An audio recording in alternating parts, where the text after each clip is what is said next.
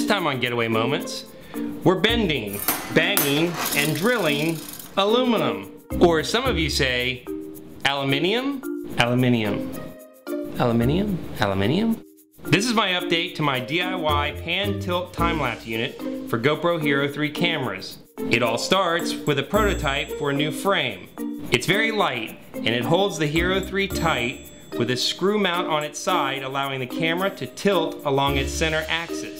To build one, you will need a strip of 3 quarter inch wide, 1 16th inch thick aluminum. Use your Hero 3 as a guide.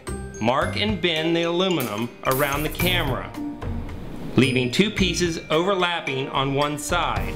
Cut off the excess, file the rough edges, mark the frame for perfect fit, and make the last fold.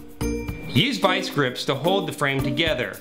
Drill a 7 32nd hole through the two ends in the middle and tap the hole for a quarter 20 thread. Then drill two holes for the GoPro start button. One for tilt up, one for tilt down. To build your GoLapse pan tilt unit, you will need to build two GoLapse panning units.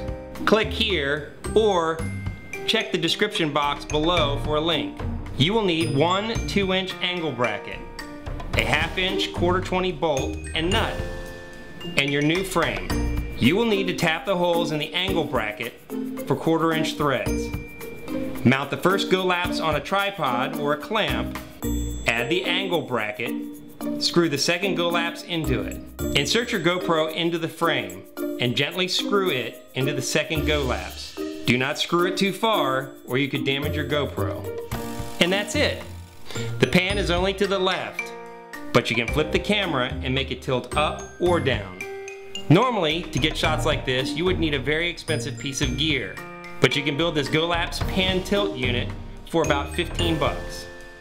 Thanks for watching, and if you enjoyed this video, please subscribe and give it a thumbs up. If you make this project, please send me a link and let me see the results. Now here are a few test shots.